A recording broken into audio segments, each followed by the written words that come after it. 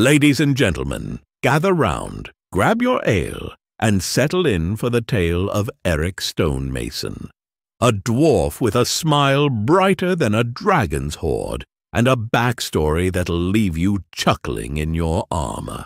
Picture it.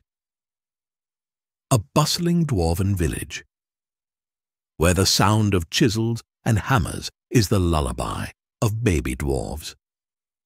Eric Stonemason, the eighth and final son of Ansel Stonemason, was meant to be named Elric, but alas, his father's handwriting was about as reliable as a goblin's promise, and thus Eric he became. Ansel, a busy dwarf with a penchant for perfection in stone, but not in spelling, shrugged off the error. Close enough, he muttered, and the name stuck. Young Eric was a joy to behold, always sporting a grin that could melt mithril. His father and seven brothers were perpetually engaged in hammering away at stone, leaving little Eric to his own devices. Not one to be left out, Eric would follow them to the worksite, watching intently as they carved and shaped stone with skilful hands. Despite his keen observation and budding talent, Ansel saw his youngest as a bit of a layabout. Every time he glanced over, there was Eric, seemingly lounging and daydreaming. One fateful day, after catching Eric loafing, which really meant taking a well-deserved break after an intense session of stone carving, Ansel decided that perhaps the boy was better suited to a life of piety. And so, with a swift decision and little consultation, Eric was packed off to a temple to train as a cleric. After all, if he was going to be lazy, he might as well do it somewhere holy. Eric, ever the agreeable dwarf, went along with his father's plan without a fuss, his signature smile never wavering. Arriving at the temple, he was greeted with indifference by the other clerics, who were too busy with their scrolls and rituals to pay much attention to the newcomer. Days at the temple were serene, punctuated by Eric's frequent naps.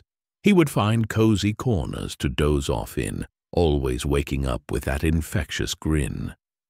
The other clerics, noticing his daytime snoozes, quickly labeled him as lazy.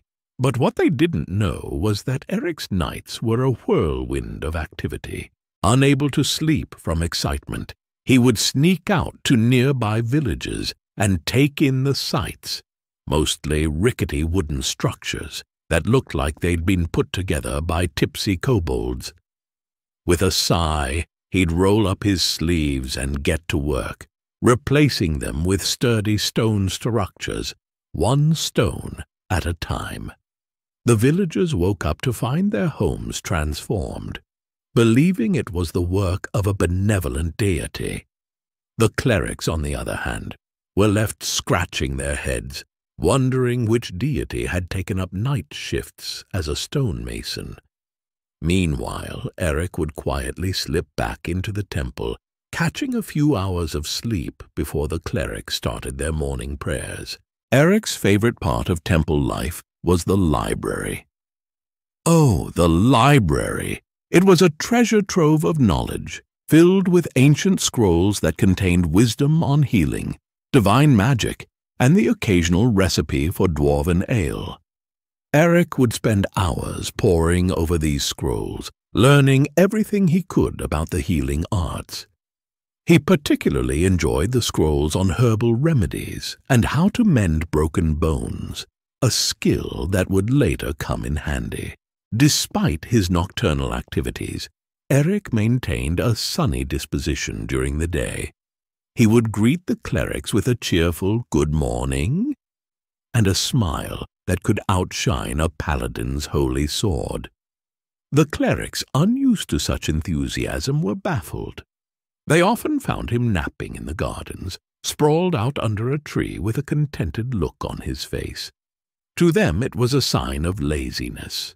To Eric it was just a power nap. As the years passed, the clerics grew increasingly frustrated with Eric's apparent lack of initiative during the day. Finally, in a display of polite exasperation, they asked him to leave. Eric, ever the optimist, accepted their request with his trademark smile, and set off to bring his unique blend of stonemasonry and healing to the wider world. Now Eric roams from village to village, his reputation preceding him. Wherever he goes, he leaves behind marvels of stonework, from majestic houses to robust barns. Each piece bears his initials, ESM, a subtle mark of his craftsmanship. But Eric's talents don't stop at stone. He's also a skilled healer, tending to the sick and injured with a gentle touch and a reassuring smile. He never asks for gold or riches in return, only a warm meal and a place to rest his head. The villagers, grateful for his work, welcome him with open arms, marveling at the dwarf who turns their wooden huts into stone fortresses overnight. Eric's travels took him far and wide, from bustling cities to remote hamlets. In each place, he would quietly assess the buildings, offering his stonemasonry services with a cheerful, just a little touch-up, no big deal. His handiwork left locals in awe. Structures that once seemed on the verge of collapse were suddenly the sturdiest in town, often prompting impromptu celebrations and feasts in his honor. One day, back in his home village, fate took a turn. Ansel Stonemason, while working on a stone ceiling, found himself buried under a heap of rubble. Severely injured, he was bedridden for weeks, his condition worsening. Just as hope seemed lost, Ansel awoke one morning to feel a soothing warmth spread through his body. His bones mended, his muscles healed, and as he opened his eyes, there was Eric smiling down at him. Hello, father, Eric said warmly. For the first time, Ansel saw his son not as the lazy dwarf he had once thought, but as a skilled and compassionate cleric.